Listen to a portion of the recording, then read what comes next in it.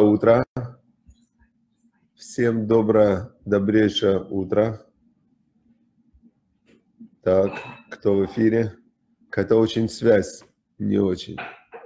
Хорошо, дорогие друзья. Надеюсь, что все-таки наша эта связь поможет нам, позволит нам провести сегодня урок. Георгий Нивни присоединился. Шалом. Яков Шатанин, Шатанин из Рабослания. Все присоединились. Все, шалом. Яков очень Шатанин эмоционально с нами всегда здоровается. Влад Косов присоединился. Шалом из Херсона. Шалом всем.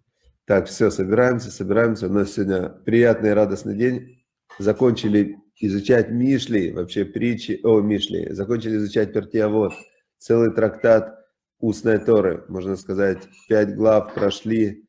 Прямо очень это серьезный, серьезный этап кто не прошел, может пройти, есть ссылочки, можно полностью все пять глав у нас есть. Э, отдельно Влад может делать прям таким оглавлением, один пост вот прямо сделать бы, а пост, где есть выход на все пять глав. Первая глава, вторая, третья, четвертая, пятая, там идет прямо по урокам с маленькими телевизориками такими, да. И получается, что вот можно одной, так, одним оглавлением сделать прям все пертиавод одним постом, одной статьей в, в этом самом, в, на портале Ваикра. Да, Влад, сделай, пожалуйста, чтобы можно было повторять, потому что повторение – мать учения. И тот, кто учит и не повторяет, похож на того, кто сеет и не собирает урожай. Представляете? Потому что один раз прошел, понял, но еще не вошло в голову. Второй раз, третий, четвертый, пятый, оно оп, и вошло в голову. И э, есть у меня такая метафора, оно начинает как семена проросли, и эти семена начинают они давать урожай. Начинают они семена давать урожай, и, значит, э, семена начинают давать урожай и давать свои плоды. Почему-то вот у меня не... Так. Значит, отлично. Все, у нас сегодня празднуем мы особый день. Все, дорогие друзья. Сегодня, значит, я обещал рассказать, как я стал религиозным. Э, как я стал религиозным, как я стал соблюдать, и э, мы начнем, э, ну, то есть, может, особо сегодня мы и не начнем, изучать Мишли. Снова, я считаю, нужно еще раз пройти притчи царя Соломона, год, еще раз, не год, я думаю, меньше мы пройдем. Все я хочу издать книгу, и в прошлом мы проходили, я дошел, по-моему, до седьмой главы, я писал каждую главу, каждый урок, каждый отрывочек, потом перестал, просто готовился и рассказывал. А сейчас я хочу все-таки пройти опять всю книгу, написать с другими комментариями.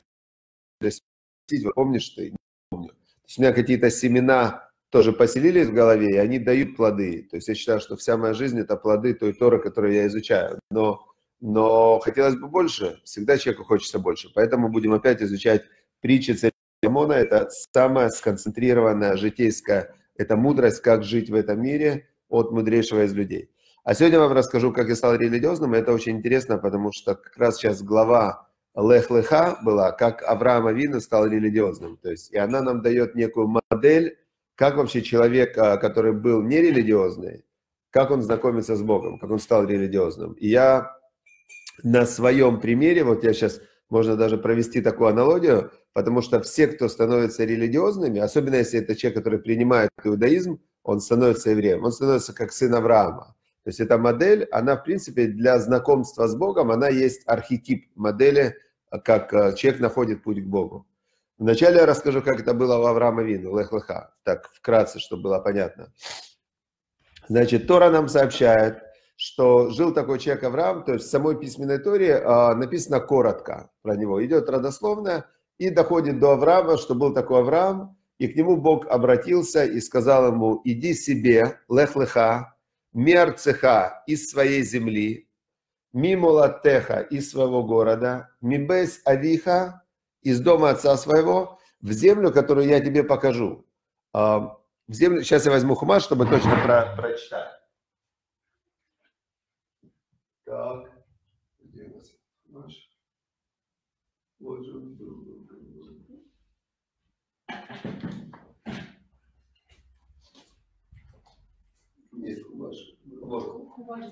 Вот. Так, отлично. Вот, смотрите, сейчас я вам прям прочитаю, как Бог ему сказал. Значит, Бог ему сказал конкретно следующие слова. Сказал он Авраама следующие слова. Он ему сказал, прям на это столько комментариев пишут. Он ему сказал, и сказал Бог Аврому, его звали вначале не Авраам, а Авром. Авром. Значит, лех-леха, иди себе, дословно переводится, лех-леха, ме арцеха, из земли твоей, мимолатеха, из города твоего, ми бейтавиха, из дома отца твоего, эль аарец ашер эреха, в землю, которую я тебе покажу. Но не сказал куда, в землю, которую я тебе покажу. И тут же он продолжает, в эсха легой гадоль, и сделаю я тебя большим народом, в аварехаха, и благословлю тебя, Вагадла шмеха и возвеличу твое имя. То есть имеется в виду благословлю тебя, имеется в виду благословение материальное. А, то есть будет у тебя богатство. Вагадла эт шмеха, возвеличу твое имя. Будет у тебя слава, признание, люди будут тобой восхищаться. Это называется возвеличить имя. Вее браха, и будет у тебя браха, то есть у тебя будет сила божественная благословлять. То есть я тебе передам вот эту вот силу благословения. Значит, и дальше Бог сказал, это очень интересно, важно. Он ему говорит, «Ва вархо миварехаха, я благословлю тех, кто будут благословлять тебя». То есть мера за меру. Кто будет благословлять Авраама, тех я благословлю. У Микалелеха Аор, а тех, кто проклинает тебя, я прокляну. Так сказал Бог. В неверху быха коль мишпахота Адама. И благословятся в тебе все семьи земли. То есть мы видим сейчас, что от Авраама пошли и европейские народы, и Ишмаэль, это сын Авраама, это родоначальник э, арабов, да, и евреи, естественно, через Ицхака пошли.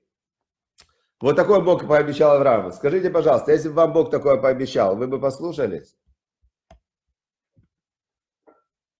А почему-то у меня исчезли комментарии. У меня исчезли комментарии. Вы бы послушались, если бы Бог вам вот такое вот пообещал бы. Кто бы послушался? Скажите, пожалуйста. Кто бы послушал? Давайте посмотрим. Если бы вам Бог пообещал такое, сказал бы, смотри, вот, э, например, Ростислав Бакалук или там Татьяна Величкова, или талисман вот у нас, да, кто у нас есть? Э, Аркадий Барвинский. Э, кто где живет, да, если бы Бог сказал бы вам, так, выходи, значит, из своего там Нижнего Новгорода пешком, значит, выходи пешком, но идти надо, знаете, куда? Идти все равно надо в опасные места. Идти надо, например, Бог говорит, в Африку, то есть просто прилетаешь в Африку, выходишь и идешь себе в саванну, тигры, львы, змеи, какие-то черные племена непонятные там живут, вы не знаете, какие там племена живут. И, значит, э, иди туда, я тебе покажу потом, куда свернуть, но вот потом я тебе покажу, куда свернуть. Значит, там будет и богатство, и возвеличу имя твое, и, и это самое. То есть, понятное дело, обещание хорошее, но откуда вы это знаете? Голос звучит у вас в голове. Это не то, что вам пришла телеграмма от Бога. Никто вам конкретно не то есть вы услышали голос, вот вы молитесь и говорите, я уверен, что многие молятся сейчас и просят у Бога, чтобы Он подсказал, что делать дальше, куда двигаться, как поступить. Многие молятся. И тут вы слышите у себя в голове голос. Там Евгений Калашников, слушай внимательно. Иди себе, удались от своей страны. Давайте разберемся, что Бог от него хотел. Почему вначале сказано удались от своей страны? Он ему говорит, смотри, в законы твоей страны, в которых тебя воспитывали, от, от, вообще от них откажись. Они не должны для тебя вообще ничего значить. То есть все, что тебя воспитывали в стране, откажись. Мимо латеха, все, что тебя в твоем городе воспитывали, вот эти твои городские там обычаи, э, откажись. Все, что тебя в доме отца воспитывали, то есть все твои, э, все твои вот человек состоит из набора, очень большого набора разных привычек, действий. И все это он получил, э, скорее всего, в доме своих родителей. Вот я сегодня даже... Я покупать вещи только со скидкой вообще. И у меня мама, она, когда уехали они в Германию, она накупила все вообще, там со скидкой, она вот шкафы, ей сейчас 81 год, слава богу, все стоит нетронуто.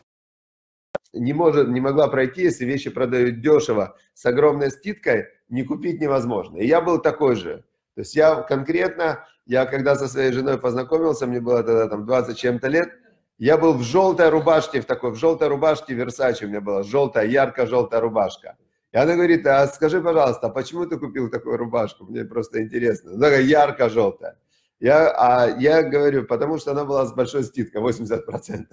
Я не мог не купить рубашку. Ну, ну что, мне цвет тоже, говорю, не нравится. Но 80% скидка я не мог не купить. Вот, это как раз привычки из дома. И Бог Аврааму сказал, от всего этого откажись.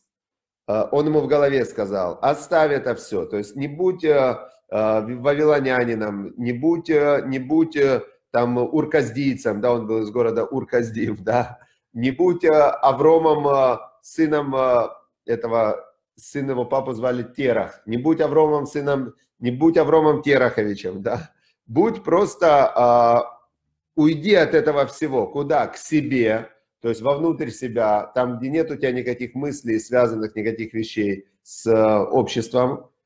И, значит, мало этого, что уйди в себя от всего этого, так и в физическом плане ты должен выйти из этого всего, что влияет на тебя. И тут интересно, Авраам, он был, э, он был еврей, первый еврей. Еврей – это тот, который противостоял всему миру. Он, был, он всему миру рассказал про Бога, и шел против Немрода, против идолопоклонников, против всех он шел, вообще ему было все равно. Но и все равно даже ему Бог сказал, уйди из э, плохого окружения, оно на тебя влияет. То есть он тот, который сам был центр влияния, тем не менее ему Бог тоже сказал, уйди из того места, где на тебя влияют негативно. То есть это вот то, важно понимать, насколько вот эта вот народная мудрость, с кем поведешься, от того и наберешься, она верна. И насколько в Пертиавод мы учили, что Архек Мишахенра, отдали седа, Вальтит Хаберли Раша, не соединяйся со злодеем. И Вальтит Ешмина Пуранут, и не придется тебе отчаиваться от расплаты. Насколько это верно, что даже Аврааму Бог сказал, уйди от всех, кто тебя знали, чтобы они на тебя не могли влиять. Теперь он с голос звучит внутри. И он, Авраама Вину, он, он думает, а, он говорит, хорошо, куда выходить. Еще одна сложность, не, пока не скажу. Я тебе покажу, по пути куда-то покажу, но пока не скажу. И тут самое интересное, он приходит к своей жене, Сара, у него была жена, которую звали на то время Сарай, ее звали. И он ей говорит, мне Бог сказал уходить. Какой Бог? Бог, создатель мира и земли, а, непостижимый. А, а куда уходить? Он пока не сказал в... но я ухожу.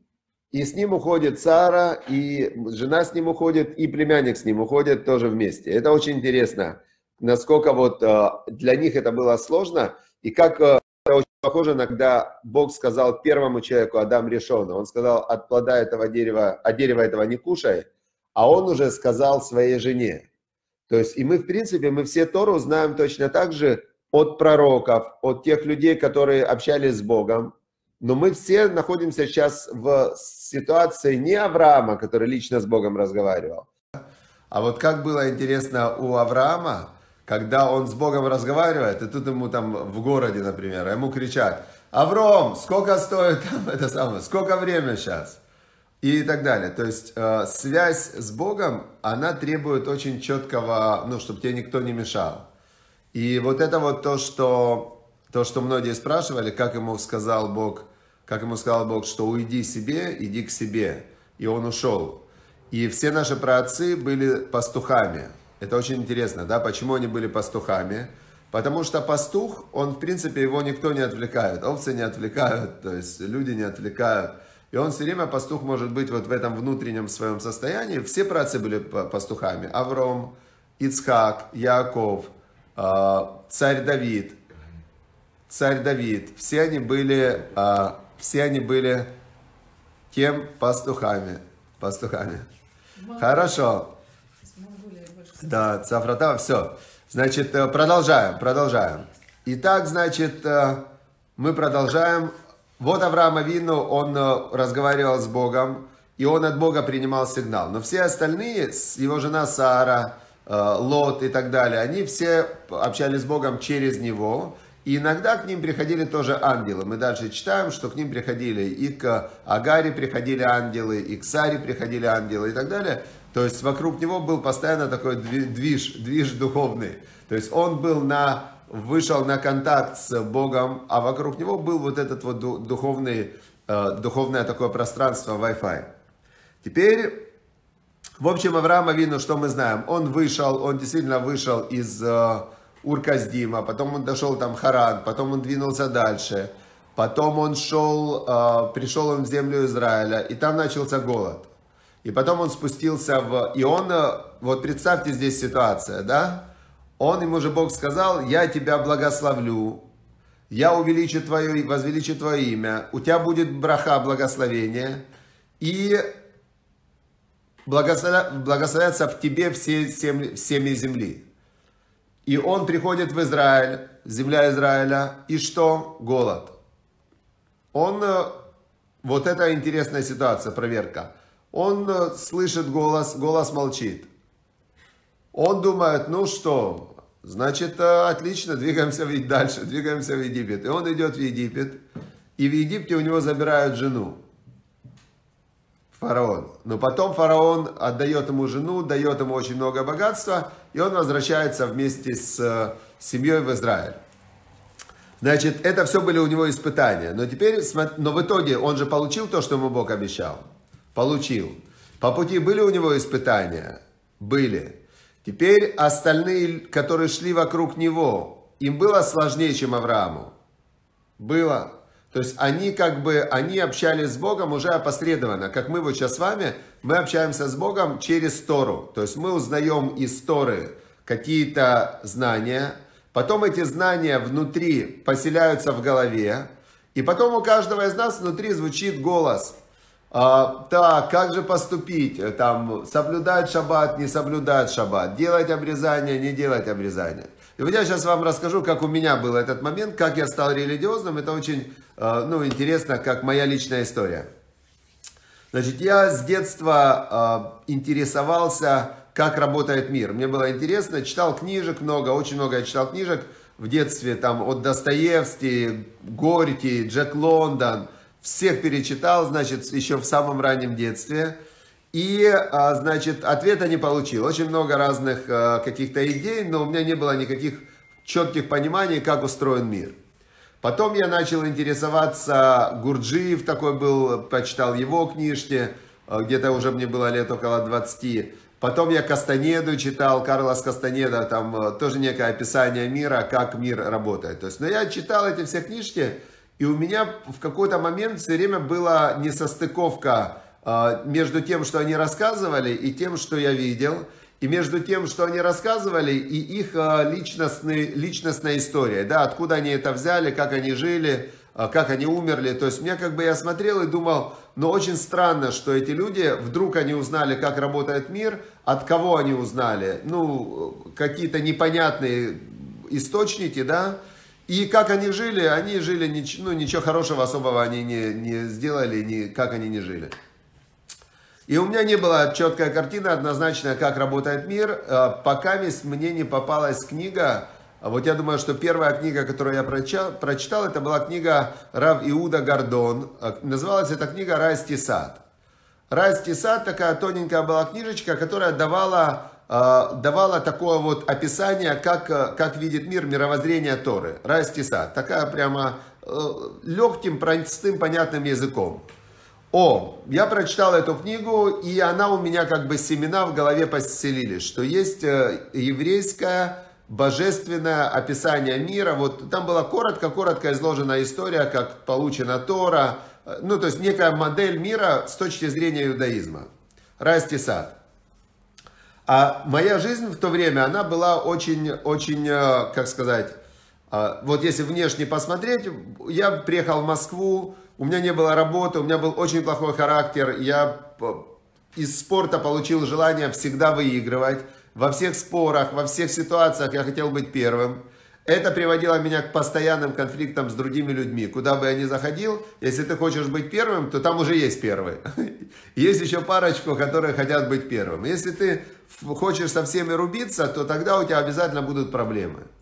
Теперь, а, если ты хочешь зарабатывать деньги, то там своя история. В общем, у меня было, как сказать, набор моих знаний о мире – набор моих убеждений о мире, он меня привел к ситуации, когда мне негде жить, у меня нет денег, и у меня множество проблем личностного порядка в Москве. Мне 23 года, и я уже а, до этого, у меня были большие конфликты в Киеве, в, еще где-то. То есть, я, главное у меня было качество, я считаю, такое вредное качество. Это желание выигрывать во всех спорах и желание а, быть первым в любой ситуации, куда я заходил. Мне было 23 года, это был 96 год, получается, Москва, 96 год. И э, в какой-то из моментов я решил пойти в синагогу э, для того, чтобы... У меня прям вот тупиковый такой был момент, я как сейчас помню, вот примерно как сейчас, ноябрь, может, месяц, декабрь, зима, холодно. Такая прям... Я прихожу в синагогу, говорю, я научите меня молиться, хочу молиться. Мне говорят, вот здесь есть для студентов, для молодых есть место, Лучников переулок, Турат Хаим это называлось, э, такая как Ешива. Вот там э, учат студентов еврейских молиться. Если ты еврей, тебя научат. Я прихожу туда, мне говорят, такое теплое место, такая вот прям Лучников переулок, она в Москве, такое теплое место, приятные такие раввины, молодежь такая еврейская, все добрые, все улыбаются. И мне говорят, пожалуйста, приходи, учись, кушай. Значит, и э, мы еще тебе стипендию будем платить.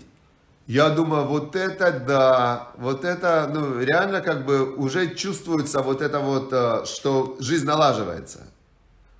Значит, я начинаю учиться, молиться, и мне говорят, смотри, э, ты должен же сделать обрезание. То есть ты должен сделать, ты еврей, ты должен сделать обрезание. Это серьезно, это как операция, отрезать кусок кожи, ну то есть, и, ну это реально больно, страшно, я очень боюсь боли. Я такой, знаете, есть люди не, не чувствительные, а я боль боюсь. Я говорю, нет, секундочку, это серьезное решение. То есть я там, еда хорошо, 200 долларов стипендия хорошо, молиться хорошо, но я пока не уверен, что я готов перейти на следующий уровень взаимоотношений с Богом, который подразумевает уже под собой конкретную операцию по отсечению крайней плоти. Это страшно. Я говорю, нет, давайте подождем. А я, значит, когда э, научился молиться, то я э, молился конкретно. Я помню, у меня всегда были хорошие амбиции такие. Я помню, я молился в молитве Шмунаэстера в Амиде. Есть там место личных просьб. Я просил 200 тысяч долларов. То есть мне от Бога нужно было конкретно 200 тысяч долларов. Почему-то мне на тот момент Казалось, что эта сумма решит все мои жизненные вопросы, а, которые у меня на тот момент стояли. Значит, я молюсь вот так вот три раза в день, молюсь, прошу 200 тысяч долларов, а, дают сдаку там в нужном месте, выполняя заповедь сдаки, то есть ты когда просишь, ты должен давать. Все, что я изучаю, я потихоньку начинаю применять, но э, обрезания не делаю. Где-то месяц я молюсь, месяц я молюсь, и э, Аравин э, говорит, давай, давай, Моэль приехал, все. Один раз я даже сказал, что да, но я не приехал на место обрезания. Я, не, я в последний момент испугался. Это насчет того, что как э, у тебя появляется некая информация, вот Бог сказал Аврааму, Авраам сказал Саре, а потом выбор, делать, не делать, делать, не делать. То есть ты делать шаг к Богу, но это обычно подразумевает изменение твоих вот этих вот обычаев страны, обычаев города и обычаев дома. То есть ты должен выйти из плена своих э, привычек и своих рутинных вот этих схем, в которых ты живешь. И особенно если это на первом этапе, это очень значительные шаги. Обрезание, шаббат, кошерная еда, не работать в субботу, там, изменение стиля речи, ты не можешь говорить э, лошона раз злоязычия, а если мы посмотрим речь обычных людей, она построена процентов на 50 из злоязычия, то есть ты просто половину вещей должен перестать говорить о других людях плохо там и так далее. То есть э, изменения очень значительные. И вот тут как раз есть вот это обещание, то, что Бог дал Аврааму, он ему говорит, ты сделай свое, а я свое сделаю. Я ждал от Бога эти 200 тысяч. Я помню, как сейчас я ждал 200 тысяч. И вы знаете, вот интересно, что Бог мне дал эти 200 тысяч. Он мне дал 200 тысяч, то есть у меня потом было в декабре месяце, ровно середина декабря, включается абсолютно прямо с неба, включается цепочка событий, в которых, э, в которых у меня вдруг, вот у меня не было работы, не было денег, не было где жить, и вдруг у меня открывается источник заработка невероятно, прям с неба мана такая, начинает валить. Я начинаю зарабатывать тысячи долларов в день примерно чистой прибыли вот, вот так вот, да, то есть еще раз, э, молитва работает, очень сильно работает, и важно то, что ты молишь. У меня было так. Я начинаю э, работать и перестаю ходить в синагогу. Перестаю ходить в синагогу. Равин мне звонит, я говорю, не могу, я занят, у меня нет времени. И я начинаю, потом у меня приходят деньги, я начинаю уже в эти деньги с удовольствием тратить. Зачем мне? У меня в жизни все хорошо. Какое обрезание? Какие, какие синагоги? Почему я должен вставать рано на шахарит? Зачем мне этот филин? У меня в жизни все хорошо. И кто это сделал? Я. Так думал я, и такая ошибка есть э, чаще всего у людей, которым Бог дает благословение, они почему-то в этот момент считают, что, что это они сами сделали. А когда все плохо, то они считают, что это плохо из-за кого? Из-за других. А, и просят Бога, чтобы Бог помог разобраться с другими обычно. Да? Просьба такая, что помоги сделать так, чтобы другие иначе изменились и стали лучше. В общем, э, где-то полгода у меня все отлично, денег все больше и больше, э, удовольствия в жизни все больше и больше, и я забываю, что за все надо платить. Я в тот момент не знал же Тору, я не понимал, что за все придется заплатить. Проходит год, а, значит, э, Равин уже от меня отчаялся, все. И я как раз, проходит год, знакомлюсь с девушкой, очень мне она понравилась, и, значит, еду с ней знакомиться как раз сентябрь месяц, знакомиться с ее родителями, хочу сделать ей предложение, жениться хочу на ней. А у меня к этому времени, уже к этому времени, у меня начались неприятности. То есть у меня неприятности начались, э, но когда запущен большой механизм, бизнес идет, то есть э, где-то оно идет вроде еще хорошо, а где-то уже большие неприятности. Это хорошо перекрывает большие неприятности, пока есть. Но я-то я -то единственный знаю, что уже вот этот вот маховик э, неприятностей и минуса, он внутри раскручивается все сильнее и сильнее. И хотя еще деньги есть, но я уже понимаю, что это уже не прибыль, это уже идет в убыток все я, значит, у меня здесь неприятности, там неприятности. То есть у меня уже очень большое беспокойство, как из этого всего вылезти. И тут я приезжаю еще знакомиться с ее родителями, и она вдруг заболевает, 40 температура. Ночью мы начинаем ездить по каким-то скорым. Ее там в какие-то ставят страшные разные диагнозы, все. И в итоге оказываемся мы в больнице, какая-то такая больница. И врач говорит, все говорит, у нее перитонит, ее надо прямо сейчас резать или она умрет. Давайте, говорит, решайте. Или сейчас режем, или она умирает. Я говорю, ну что же, режьте, говорю, ну какой вы, вы выход? Ну, то есть выхода нет. А, да, она без сознания, все. И я, значит, в этот момент стою, значит, и как раз а, такая комнатка ожидания. Я помню, я вот реально плачу, вот мне так себя жалко, то есть вообще мне просто было жалко себя больше всех. И говорю, что же это такое, говорю, Господи, творится, да? Я же хороший парень, почему мне так не везет? Что, где я ошибся? Потом я вдруг понимаю, что я-то где ошибся? Я везде ошибся.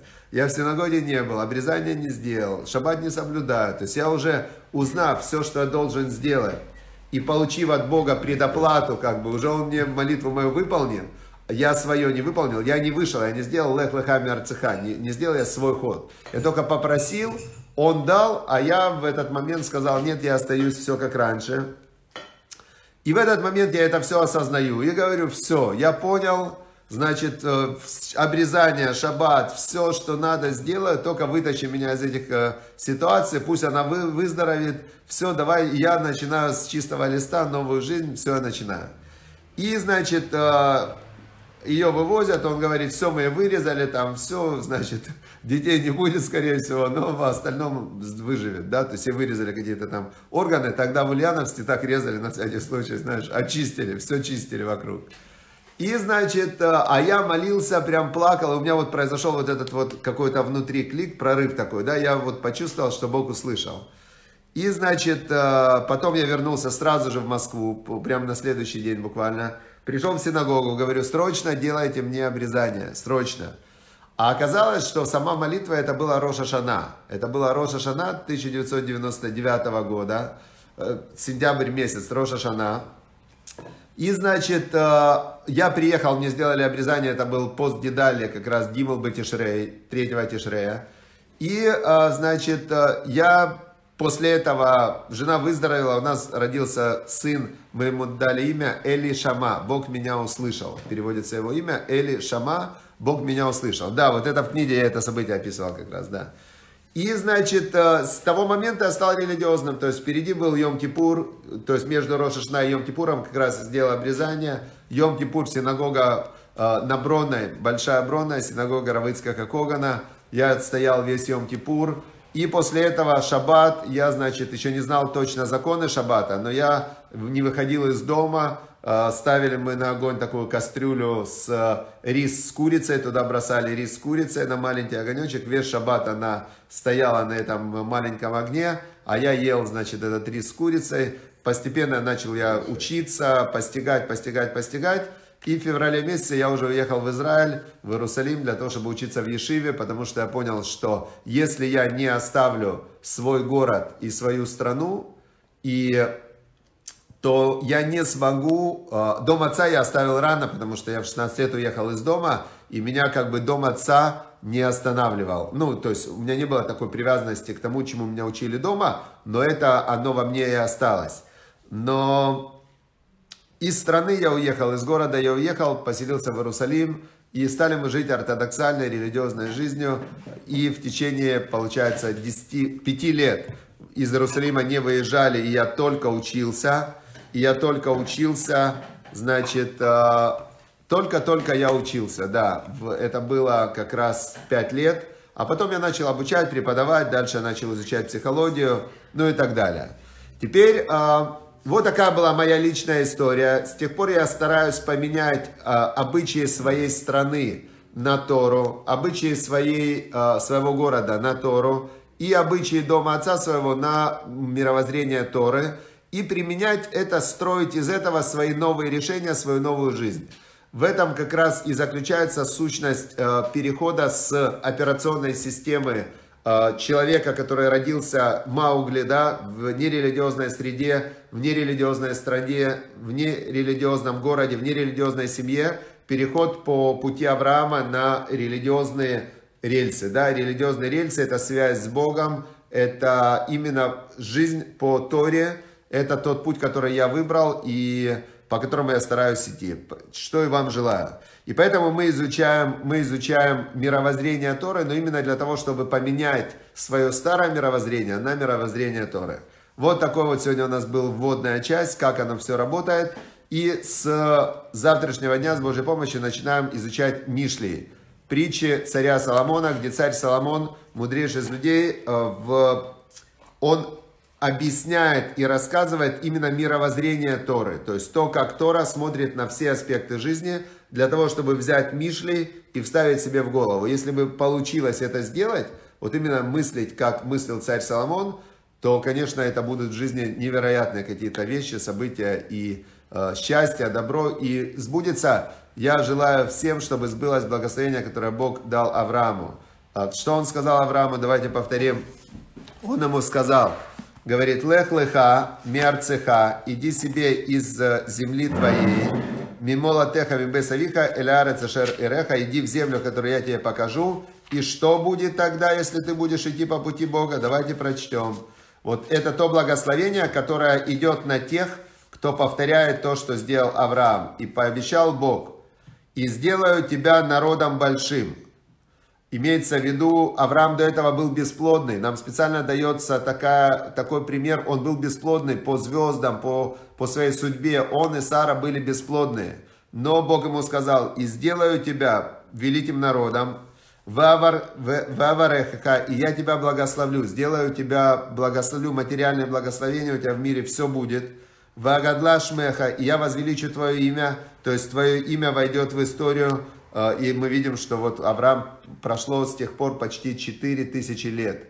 Э, Авраам был за 400 лет. 3700 лет прошло с тех пор. И возвеличится твое имя, и будет у тебя браха, то есть будет благословение который Авраам передавал дальше своим потомкам Ицхаку, Якову, и Яков передавал дальше, дальше. То есть благословение божественное в этот мир заходит через потомков Авраама.